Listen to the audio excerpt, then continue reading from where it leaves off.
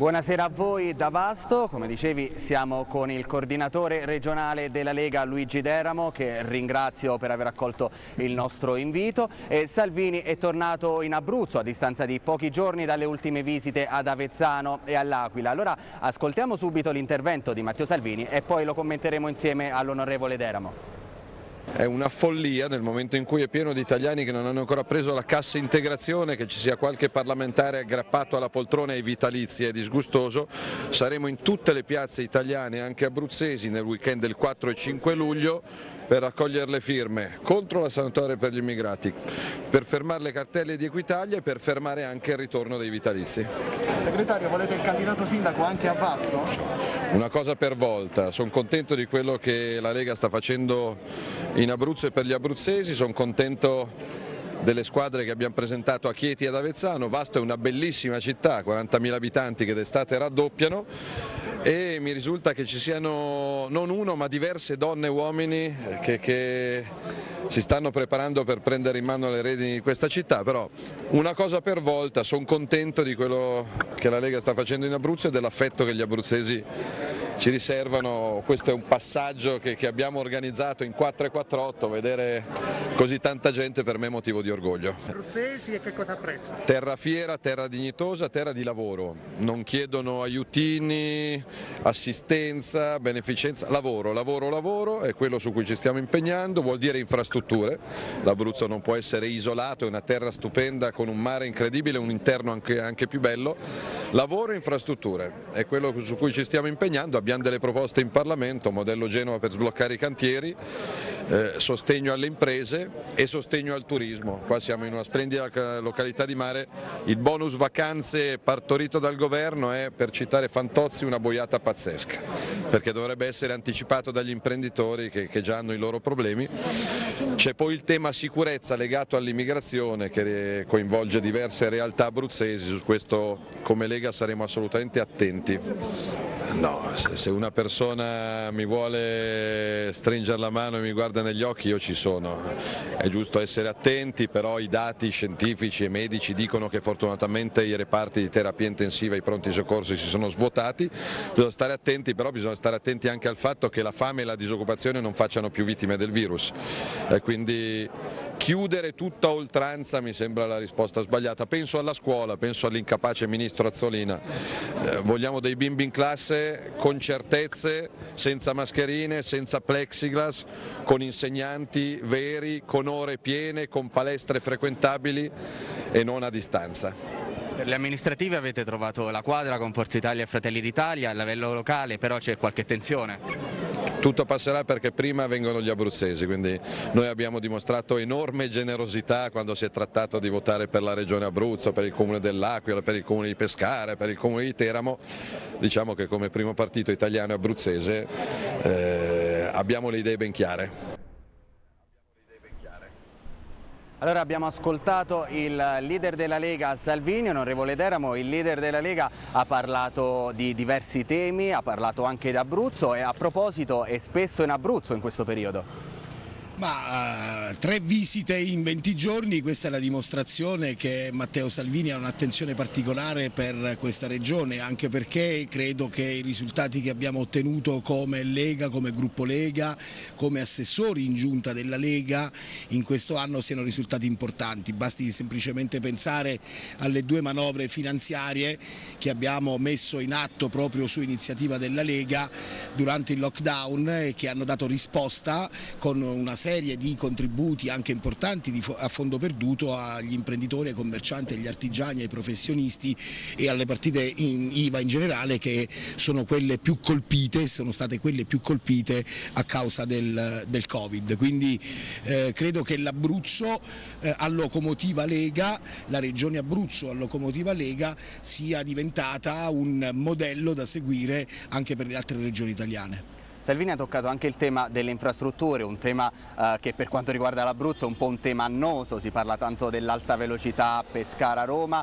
e anche del raddoppio della linea adriatica. Quanto è importante per l'Abruzzo essere collegato con il resto della penisola? è fondamentale sia per le zone interne che per quelle costiere, è una discussione questa che va avanti da oltre 30 anni e eh, credo anche che le ultime uscite del governo PD 5 Stelle per bocca del Premier Conte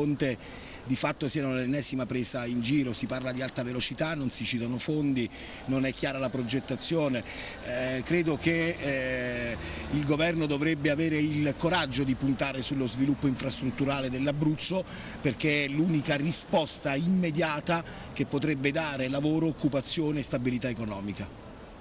E, uh, il, arriviamo al nodo amministrative che è un po' il tema caldo di questi giorni perché a settembre si voterà in due importanti comuni abruzzesi ovvero Chieti e ad Avezzano. E, uh, a Chieti in particolare la Lega sostiene il proprio candidato Fabrizio Di Stefano. E a proposito di questo ci sono state un po' di tensioni possiamo dire perché uh, Forza Italia inizialmente non voleva sostenerlo poi c'è stato un accordo tra Berlusconi, Salvini e la Meloni per un centrodestra unito e compatto però eh, che a livello locale non ha soddisfatto tutti, parliamo ad esempio di Mauro Febbo che si è autosospeso dal partito. Voi credete ancora in un centrodestra unito? Eh, per noi il centrodestra unito è un valore, eh, d'altronde il centrodestra unito eh, ha vinto tutte le competizioni elettorali che si sono succedute negli ultimi quattro anni e non potrebbe essere diversamente, abbiamo valori comuni, abbiamo programmi comuni, chiaramente la Lega è il primo partito della coalizione, quindi nel caso specifico dell'Abruzzo dopo che in maniera assolutamente responsabile, abbiamo fatto un passo indietro proprio per l'unità della coalizione all'Aquila, a Teramo, a Pescara, alla Regione Abruzzo, credo che eh, i cittadini vogliano dei sindaci che siano direttamente espressione della Lega. In più nel caso specifico di Chieti ma anche di Avezzano abbiamo persone altamente qualificate, Fabrizio Di Stefano è un politico assolutamente maturo, è un bravissimo amministratore, quindi credo che sia la persona e la figura migliore per dare un rilancio reale reale e concreto al capoluogo di provincia. Eh, poi per l'amor di Dio le posizioni dei singoli rimangono posizioni dei singoli, eh, noi non polemizziamo né tantomeno vogliamo neanche soffermarci eh, rispetto a eh, sottolineature che qualcuno fa. Eh, a noi interessa parlare eh, ai chietini, a noi interessa parlare agli avezzanesi, del resto è a queste persone e a, questa, a, questa, a queste due cittadinanze che dobbiamo dare delle, delle risposte proposte che si aspettano, lo ripeto ancora una volta, dal primo partito della coalizione in Abruzzo e sia a Chieti che eh, ad Avezzano. Siamo a Vasto, quindi state lavorando anche per esprimere un candidato sindaco leghista anche qui a Vasto? Ma ehm, noi avvertiamo il peso della responsabilità, del resto quando si guida una coalizione importante come quella del centrodestra bisogna assumersene le responsabilità. Vasto è una città strategica sia da un punto di vista economico, della realtà economica, sia da un punto di vista del, del turismo, eh, è una città che è governata da 15 anni, mal governata da 15 anni dal Partito Democratico e quindi credo che meriti la possibilità non solo di cambiare governo ma che si attuino su Vasto tutta una serie di politiche che nel corso di questi anni non sono mai state prese in considerazione. Ed è per questo che iniziamo da subito a costruire un progetto alternativo a quello fino ad oggi offerto dal Partito Democratico, fatto, ehm, eh, composto, sarà composto di 10 punti sui quali già stiamo lavorando, che apriremo al confronto con la città, con gli ordini, con le professioni, con le categorie, con il mondo del terzo settore, anche con la realtà dei sindacati, perché crediamo che soltanto attraverso un percorso di grande partecipazione e condivisione si possano evidentemente dare delle risposte alle alle mille problematiche che questa città vive. Abbiamo una classe dirigente su Vasto che eh, posso definire tra le migliori che abbiamo all'interno del partito in Abruzzo, vero è che esprimiamo ben due consiglieri regionali e siamo l'unico partito che ha eletto due consiglieri regionali nella stessa città, quindi abbiamo una classe dirigente che può tranquillamente aspirare a ricoprire il ruolo di candidato sindaco. In conclusione, onorevole, anche qui erano presenti alcuni contestatori, come era già accaduto all'Aquila e um, ad Avezzano. Allora, noi abbiamo ascoltato anche la loro voce, ascoltiamoli e poi potrà rispondere come meglio crede. Salvini è stato contestato nelle ultime venute in Abruzzo, contestato anche a Vasto, cosa vi spinge a venire qui? Siamo un movimento politico, siamo dei liberi cittadini che casualmente ci siamo incontrati qui e penso che condividiamo lo stesso pensiero, ovvero che il nostro problema non è la Lega, anche se ci sono dei punti che noi non condividiamo della Lega, ma non stiamo contestando la Lega, stiamo contestando quel signore lì, il signor Matteo Salvini, perché basta guardare l'ultimo mese di attualità e vedere che personaggio è, se,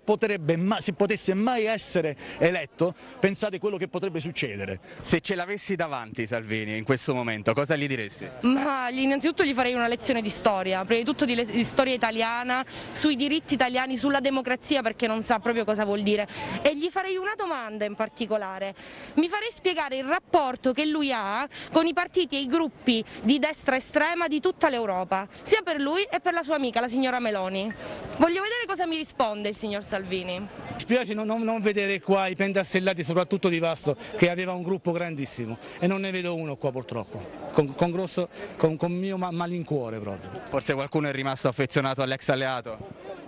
No, no, anzi è un motivo in più per attaccarlo perché ci ha tradito. Per, per cosa lo contesta maggiormente? Soprattutto, ma per tutto, cioè per tutto, per tutto, non ci, non ci sta una cosa, ci ha tradito. Una domanda che gli vorrei fare, i 49 milioni di euro che ci ha rubato dalle, dalle mie tasse, io sono agente di commercio, lavoro su strade vergognose, lo Stato non ha i soldi, però i suoi 49 milioni pari a 100 miliardi delle vecchie dire, quante strade sarebbero rifatti? Cosa possiamo rispondere ai contestatori?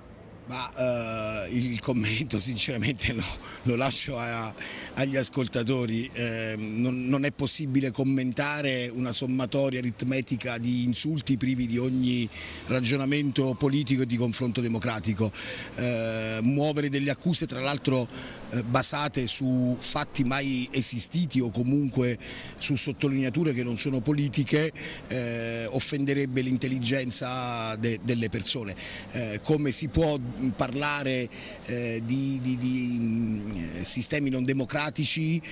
quando si parla del leader del primo partito europeo di centrodestra italiano, abruzzese e anche a Vasto, cioè milioni di italiani votano Matteo Salvini, bisognerebbe avere semplicemente il rispetto, pur non condividendo magari eh, le idee che eh, noi esprimiamo, ma il rispetto perché il rispetto è alla base di ogni forma democratica. Del resto sfido chiunque a vedere se alle manifestazioni dei comunisti ci sono eh, militanti della Lega che vanno a disturbare eh, le manifestazioni degli altri, non lo abbiamo mai fatto perché abbiamo rispetto di tutte le posizioni di tutti i movimenti politici o civici che si vogliono esprimere.